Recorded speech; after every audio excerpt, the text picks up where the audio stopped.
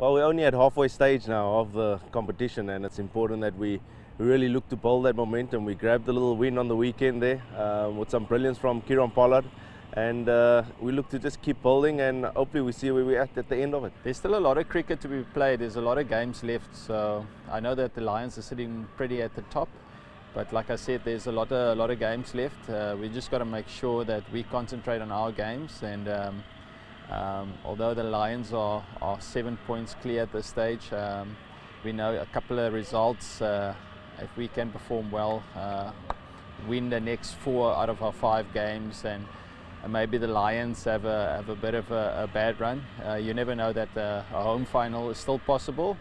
Um, but we're not thinking too far ahead. We just want to make sure that we concentrate on our next game, which is the Dolphins this coming weekend. It's actually a massive weekend for us. The Dolphins and the Lions are two very good teams, and if we can have a successful weekend, that will put us into a, a very good position. No, I think the Dolphins is always a dangerous side. They were last year's winners. Um, they play a very ex explosive cricket. Um, they've got a lot of guys that are, are match winners within that squad. They're also probably going to be having Dwayne Bravo back into that team, so he will bolster up the, the bowling and the batting.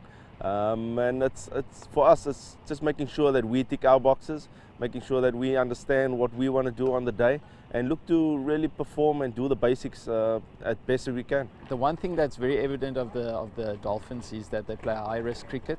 So on their day they could be very dangerous uh, if it all comes together they, they post big totals uh, so we just got to make sure that uh, we've got our plans in order for, for Friday they're a very dangerous team. Uh, we're not taking them lightly. Um, obviously, they had an off day on Sunday and, and was probably saved by the rain in the end.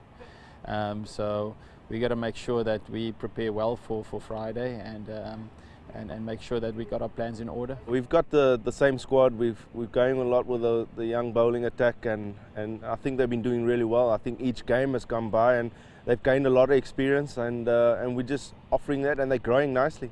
There is a couple of guys sitting on the side, uh, a couple of big names, Justin Kemp, Rory Kleinveldt.